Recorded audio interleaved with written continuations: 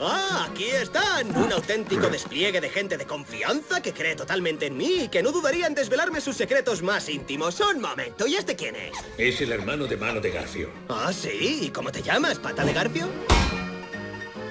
Lo reconozco, eso no me lo esperaba. Bien, ¿y dónde está Mano de Garfio? Mira, ¿Mano de Garfio está de gira mundial? Es que nadie comparte nada conmigo. Ni sentimientos, ni secretos, ni bebida. ¿Por qué nadie quiere abrirse conmigo? ¡Narizotas! Por fin alguien que comparte las cosas que le rondan por la nariz, la cabeza. y aquí viene el Don Juan con sus melosas historietas románticas. Oye, ¿esas flores son para Asunta? ¿Lo he pronunciado correctamente? Cuenta, ¿cómo está tu amiguita? Me alegra que me preguntes. La respuesta está en el último poema que le he escrito. Lo titulo ¿Me guardas un secreto? Te quiero, amor. Nuestro amor es una eterna verdad. No conoce ni el tic ni el tac. Nuestro amor es un dedo gordo sin par que sale por el tomate de un calcetín. Sin más. Estaba pensando en tu pelo. Tal vez haya una manera de que podamos encontrar respuestas discretamente, pero las dos solas.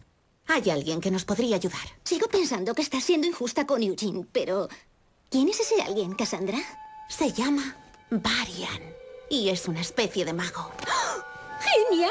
¿Un mago de verdad? ¿Crees que llevará un gorro de esos de punta? Y tendrá una túnica y un bastón y hará conjuros. No, es la verdad. Se sabe muy poco sobre Varian y lo que se sabe no es bueno. Hay quien dice que es peligroso. Pero si queremos respuestas es nuestra mejor baza, ¿no?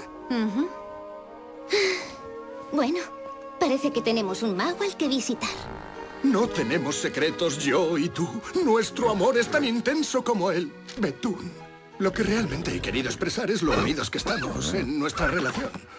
Claro, unidos, lo pillo. Porque si no puedes compartirlo todo con ese alguien especial, tal vez ese alguien no sea tan especial.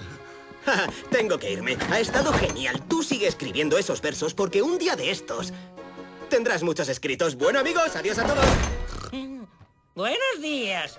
Eh, narizotas, ¿cómo le va a esa hermosa moza tuya?